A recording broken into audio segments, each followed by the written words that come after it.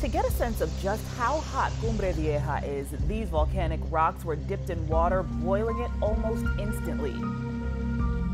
Geologists from Spain's Geological and Mining Institute carefully performed the task in La Palma, the two men clad in protective gear. Since the Cumbre Vieja volcano started erupting September 19th, the lava has swallowed hundreds of houses, roads, schools, churches, and banana plantations, forcing thousands to evacuate their homes. The volcano started erupting again Monday after a lull when hundreds of people in coastal villages hunkered down in anticipation of lava reaching the sea and releasing toxic gas. Researchers say the volcano is now in an effusive phase, which means there will be less explosions and the activity in the main cone will decline. For Inside Edition Digital, I'm Stephanie Officer.